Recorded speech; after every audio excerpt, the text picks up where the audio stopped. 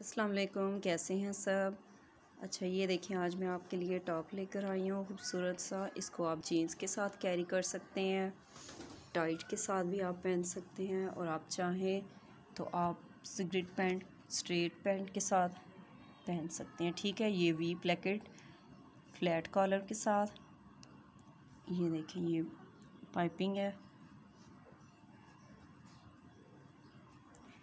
और इसका साइज़ जो है थर्टी टू इंचज़ है।